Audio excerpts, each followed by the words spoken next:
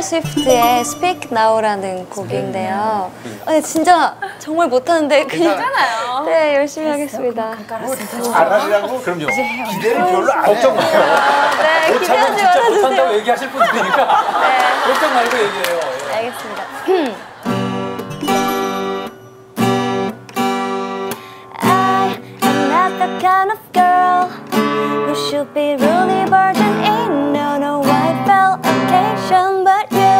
I'm not the kind of boy. Who should be marrying the wrong girl.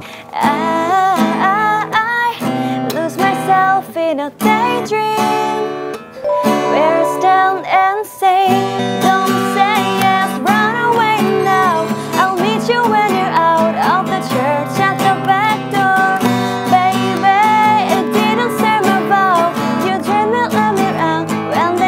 that's big now. Wow! wow.